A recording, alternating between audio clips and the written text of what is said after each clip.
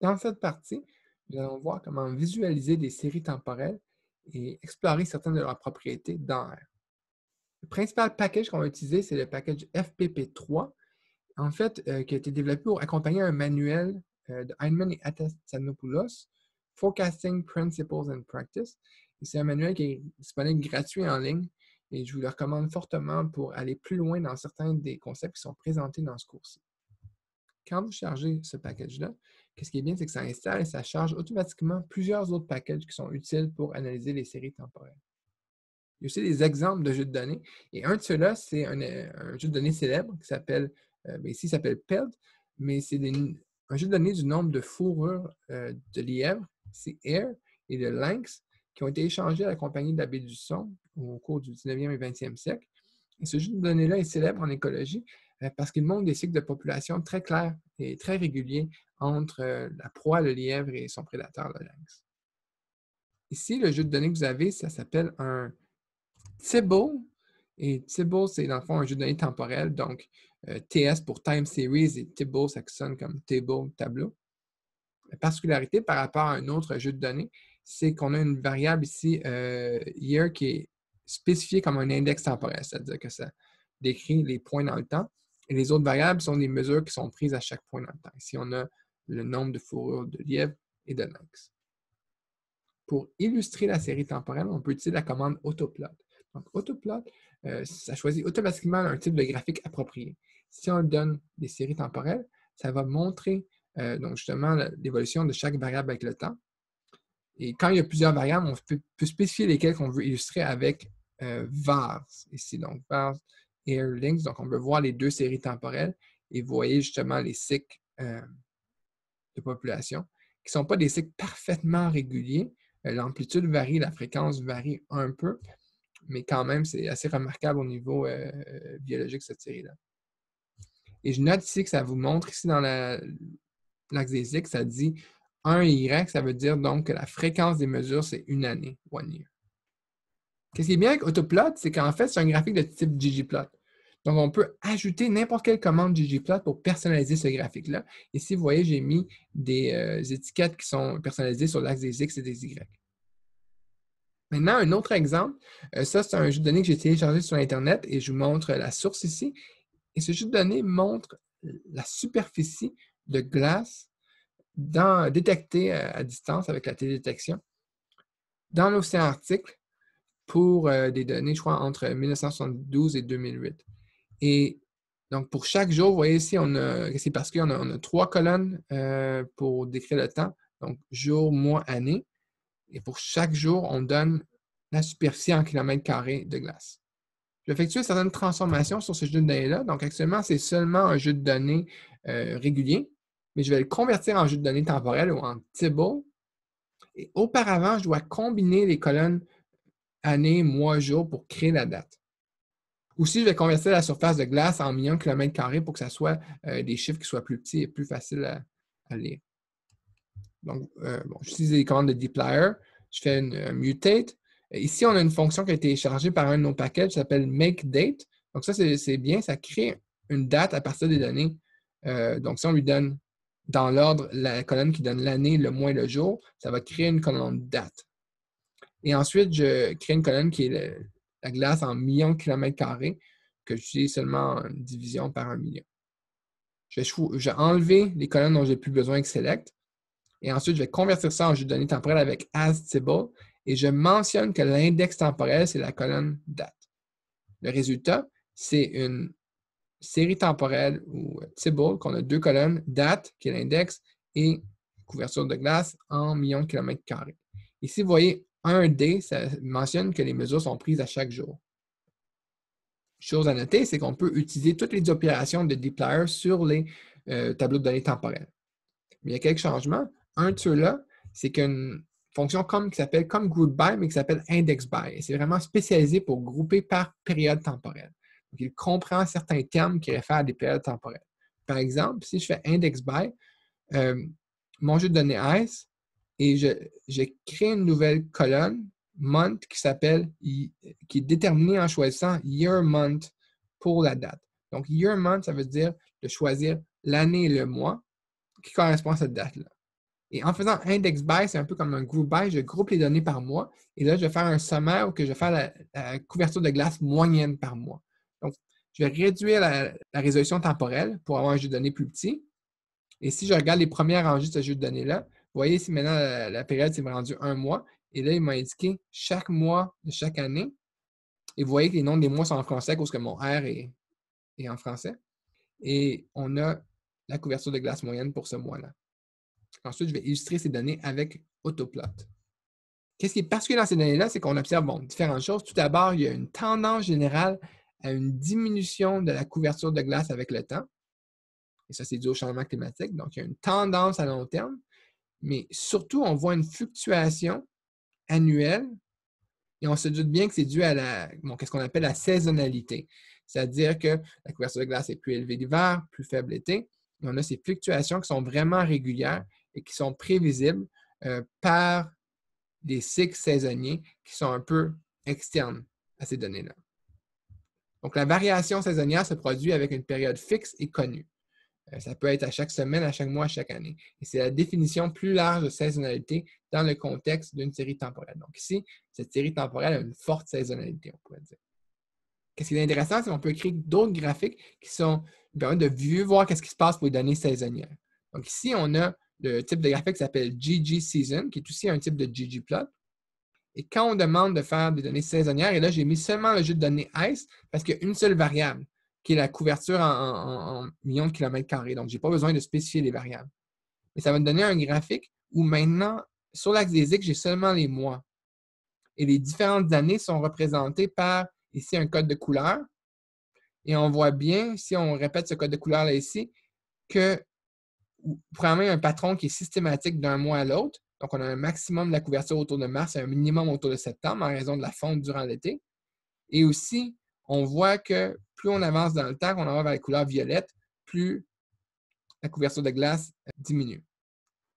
Une autre façon de voir les données sur une forme saisonnière, donc plutôt que de mettre les saisons sur l'axe des X et de superposer comme ici une année par-dessus l'autre, on peut séparer le graphique par mois et voir la série pour chaque mois avec sa moyenne. Donc ici, ça s'appelle GG Sub-Series. Et Sub-Series, c'est qu'on fait une série temporelle séparée pour chaque mois. Et d'ailleurs, je vais vous montrer que je n'ai pas mentionné un que je voulais faire par mois. Mais vu qu'il y avait des données qui étaient mensuelles, il a compris que c'était ça que je voulais faire en termes de, saisonnalité. Qu'est-ce qu'on voit? C'est que pour chaque mois, ici pour janvier, on voit donc le, mois de janvier à chaque année. On a des fluctuations, mais on aura une tendance à la baisse avec, avec les années et on voit le niveau moyen de janvier. Le niveau moyen de février, ici le niveau moyen d'août, et on voit encore une fois la série temporelle pour chaque année. On a les années ici pour le mois d'août, septembre, etc. C'est deux façons de visualiser des séries qui ont une forte saisonnalité. À ce point-ci, je voudrais mentionner quelles sont les composantes de séries temporelles. On a parlé un petit peu, mais je veux euh, parler de ces termes plus formels qu'on voit aussi dans le manuel euh, auquel j'ai référé et dans plusieurs euh, manuels sur les séries temporelles. Une tendance, trend en anglais, c'est un changement qui est dans une certaine direction, donc un changement positif ou négatif. Pas nécessairement linéaire, mais à long terme, la série temporelle tend à augmenter ou à diminuer, comme on a vu pour notre, euh, la couverture de glace, par exemple, en article. La saisonnalité, c'est quand même des fluctuations qui sont répétées avec une période qui est fixe et connue. Donc, c'est souvent des, euh, fluctuations, donc, euh, encore une fois, par semaine, mois, journalière, si on a des données à très haute résolution. Mais l'important, c'est que la période est fixe et est connue a priori. Un cycle, c'est différent. Donc, un cycle, ça veut dire plusieurs choses, mais dans ce contexte de série temporelle, ça veut dire qu'on a des fluctuations répétées, mais que la période n'est pas fixe. Donc, ces fluctuations ne sont pas causées par des cycles qui sont euh, euh, connus par, par exemple, semaine, jour, mois, mais par une dynamique cyclique qui, est un peu intrinsèque euh, au phénomène. Notamment, nos données des populations de lynx et de lièvres, c'était une dynamique cyclique, mais ce n'est pas un, basé sur une, unité de temps précise. Euh, par exemple, la dynamique arrive à peu près aux 5 ans, mais c'est dû au phénomène de population. Ce n'est pas dû à, des, euh, quelque chose qui se passe avec, par exemple, le mouvement de la Terre aux 5 ans. Et un autre exemple, c'est les cycles économiques. Euh, les cycles économiques, c'est euh, bon, quand il y a des, récessions, des périodes de croissance, etc. tout ça, ce n'est pas lié à la saisonnalité parce que toutes ces données-là, oui, il y a peut-être des, aspects saisonniers aussi à l'économie, mais ça, c'est vraiment des cycles qui sont un, peu plus long terme qu'une saison et qui ne sont pas nécessairement prévisibles. Ils sont réguliers, mais pas tout à fait et pas vraiment prévisibles dans leur euh, euh, fréquence et leur euh, magnitude. Finalement, quand on enlève les tendances, les saisonnalités, les, cycles, qu'est-ce qui nous reste? C'est le résidu de la, série temporelle qu'on appelle aussi souvent le bruit. Donc, après avoir enlevé tous les effets qu'on peut détecter de type précédent, il nous reste des fluctuations qui sont souvent à, très petite échelle, très rapides et qui, sont plus ou moins aléatoires. Une chose qui est discutée plus dans le, un chapitre, chapitre 3 du manuel de Heinemann et Athanasopoulos, mais qu'on ne pourra pas voir plus en détail dans ce cours-ci, en raison des limites de temps, c'est de décomposer une série temporelle. Donc, je vous montre l'exemple ici. Il y a une fonction qui s'appelle model qui fait différents modèles de séries temporelles. Et si on l'applique euh, au jeu de données ICE avec la méthode STL, qui est une méthode de décomposition des séries temporelles que vous allez pouvoir voir en lisant dans le manuel, on peut ensuite aller chercher des composantes, donc components de cette euh, décomposition et les illustrer avec Autoplot et qu'est-ce que ça fait ici? Vous voyez, vous avez une décomposition de la série temporelle de la couverture de glace en une tendance ou trend, en une composante saisonnière et en un résidu ou remainder. Donc, ça, c'est la série originale. Ça, c'est quand on prend seulement la tendance, donc vraiment la fluctuation à échelle temporelle plus large qui va en descendant. Ici, c'est la saisonnalité. Donc, vous voyez, c'est les fluctuations saisonnières qui sont très régulières. Leur amplitude change un peu avec le temps, mais la fréquence est constante. Et finalement, on a le résidu. Et là, le résidu, ça ressemble vraiment à du bruit, ça change très rapidement et de façon qui semble aléatoire. Aussi, portez attention au fait que ici, les barres dans chaque graphique ont la même magnitude. Donc, le graphique des résidus, par contre, varie seulement de 0.5 à moins 0.5 millions de kilomètres carrés. Et donc, c'est petit la variation résiduelle par rapport à la variation saisonnière, euh, par rapport à la variation saisonnière notamment. Les derniers aspects dont je voulais discuter dans cette partie-là, c'est l'autocorrélation donc un, graphique d'autocorrélation, une fonction d'autocorrélation, qu'on va souvent appeler ACF dans R ou Autocorrelation Function. C'est pour une série temporelle, on va faire la corrélation entre la valeur de Y mesurée au temps T et la valeur de Y mesurée au temps T moins K. Donc, si la série temporelle est mensuelle, par exemple, on a la, corrélation entre la mesure du présent par rapport à un mois passé, par rapport à deux mois passés, etc. Donc, pour chaque mesure de Y, on regarde la corrélation en moyenne entre chaque mesure de Y et la mesure précédente, ou la mesure à deux périodes précédentes, trois périodes précédentes. Donc, on peut le faire pour différents délais, ou lag en anglais, K. Et si on utilise la fonction ACF sur un jeu de données temporel, et là, je regarde, ça donne aussi un autre tableau. Et si je regarde les premières valeurs ici, ça, c'est pour mes données de, surface euh, couverte par la glace en Arctique. Je vois que, par exemple, si on a un délai d'un mois, euh, les données sont corrélées parce qu'il y a une corrélation de 0,857. Avec un délai de deux mois, une corrélation positive et plus faible. Et là, si on voit un délai de six mois, on a une corrélation négative assez élevée, moins 0,829. On peut illustrer ça avec Autoplot. Et qu'est-ce qu'on voit? C'est la fonction de corrélation, euh, d'autocorrélation. Et ici, on a des données saisonnières. Donc, ce n'est pas surprenant que lorsqu'on a des mois successifs, c'est très corrélé positivement. Lorsqu'on a un délai de six mois, bien là, on est entre l'automne et le printemps, l'été et l'hiver. Donc, on a une corrélation négative. Ils tendent à être dans des directions opposées. Et quand on va à 12 mois, à cause que là, il y a une forte composante saisonnière, quand on va 12 mois de délai, ça veut dire qu'on est janvier, janvier, février, février, on retourne à une corrélation positive élevée. Et ça continue comme ça.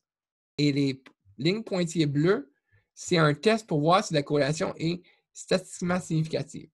Donc, s'il y avait une série temporelle qui n'avait aucune autocorrélation, on va voir ça plus tard, ça s'appelle un peu comme du bruit blanc, par exemple, on, ne verrait aucune corrélation qui, serait significative.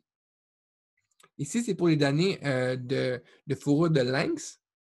Et vous voyez encore là une corrélation positive à, courte échelle qui devient négative et qui redevient positive. Encore une fois, c'est qu'on a des cycles dans ces données-là mais c'est des cycles qui sont un peu moins prévisibles. Donc, vous voyez qu'à mesure qu'on avance, à chaque cycle, c'est un peu difficile à voir ici, mais la corrélation diminue un peu. Donc, la corrélation ici, euh, les cycles durent environ 10 ans, mais la corrélation en 10 ans est moins forte euh, que la corrélation immédiate et vous voyez que ça diminue un peu avec le temps. Par rapport aux données saisonnières où on a vraiment une corrélation constante à 12, 24 mois, etc.